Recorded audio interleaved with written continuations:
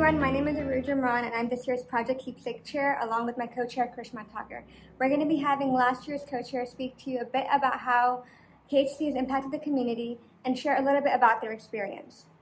Um, our university chapter has been collaborating with the American Kidney Fund for the past eight to nine years by helping them at their Kidney Action Day health fair that they conduct every year in Houston, Texas. Um, but more so, we have been using the American Kidney Fund's Kidney Health Coach program to educate our peers here at the College of Pharmacy. Usually, when we learn about chronic kidney disease, we don't really learn about it until our second year in our curriculum, and even when we learn about it, it has a lot of medical jargon and a lot more information than what the everyday average patient should know.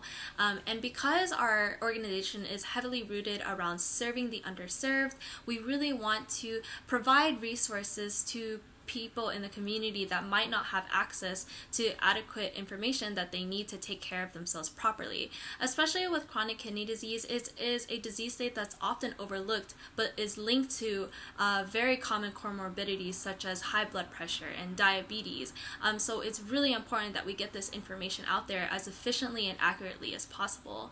Um, here at the College of Pharmacy, we conduct the Kidney Health Coach program about twice a year and we educate over 90 to 100 students per year, and those students use this information to further educate more people in the community. The Kidney Health Program has done wonders. It actually has reached pharmacy students and high school students.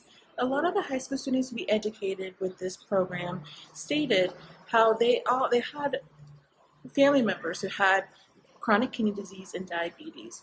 They now understand the big impact that the diabetes has on the progression of CKD and thanked us for this information.